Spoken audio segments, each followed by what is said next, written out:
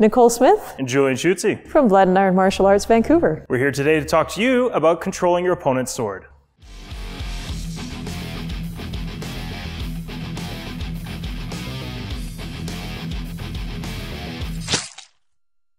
One of the main reasons you would want to control your opponent's weapon is, well, they can't hit you with it.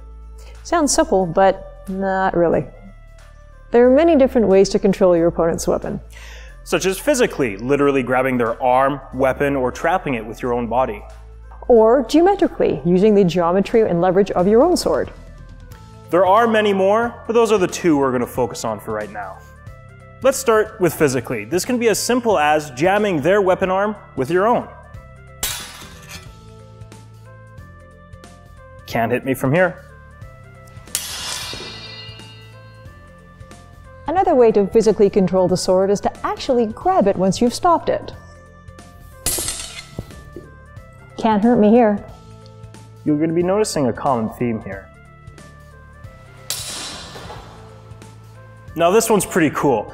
I can trap her rapier using my body with this grapple that comes from Thibaut.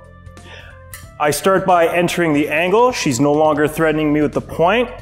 I enter, I grab the basket, and I trap it.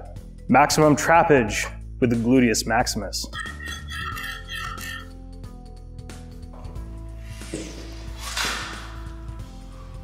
Techniques that control their sword using both leverage and geometry are far more complex to pull off. However, they can be really useful if you're facing a larger, stronger opponent and you want to keep them at bay and keep yourself safe. One of the most basic and simple examples of a geometric control is the rapier lunge. I'm literally creating a wedge, displacing his sword, and stabbing him.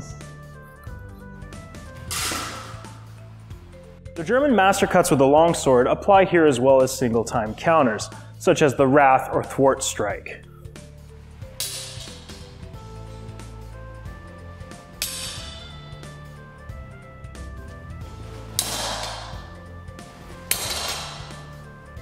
Controlling your opponent's weapon is great and all, but it takes a great deal of knowledge and practice in order to do it effectively. Your foundations have to be rock solid. You also need to have the knowledge of what your opponent can do at all times. If they know a method of escape that you do not, the results could be catastrophic. But for now, we hope you've enjoyed learning a little more of what sword fighting actually looked like.